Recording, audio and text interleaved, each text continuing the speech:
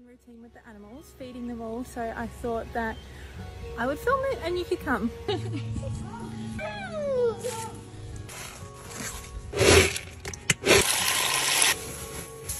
my favourite bit.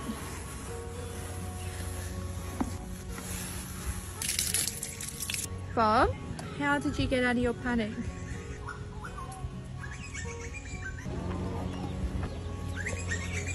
Good girl.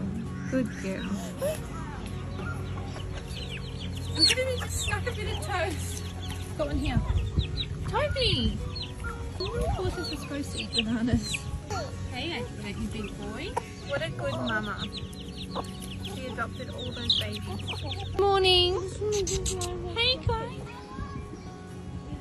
What she did, that was That's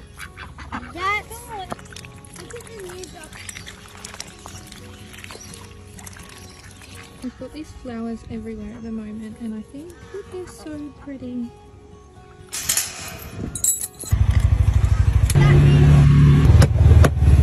May we raise children who love the unloved things, the dandelion, the worms, and spiderlings, children who sense the rose needs the thorn and run into rain-swept days the same way they turn towards the sun and when they're grown, and someone has to speak for those who have no voice.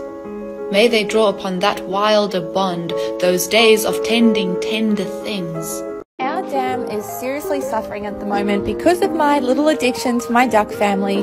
They are having quite the impact on our water quality. So today we've driven the buggy over to our neighbour's dam and we're going to borrow, well not really borrow, but share some of his plants from his dam. We're taking a few of his reeds and his water lilies and we're going to replant them in our dam at home to hopefully give our dam some more oxygen and improve the quality of the water.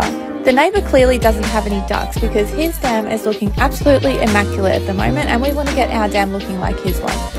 Um, the kids absolutely loved it. They started off with water just up to their knees, but that quickly escalated into this, which then escalated even more into just submerging their heads fully underwater, and then it turned into this. That is me running into the dam in my absolute favourite dress, but it's alright because I made some serious core memories with the kids. We loaded up the buggy with all of our new plants and we took them home to our dam.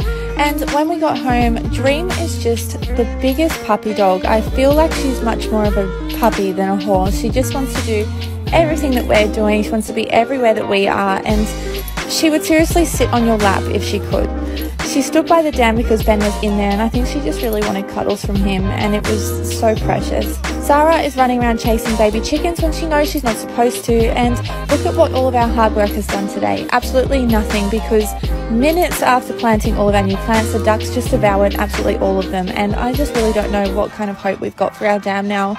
But anyway, we it was getting cold and everyone was wet so we made a little fire and we had marshmallows and it was a really nice way to end the day.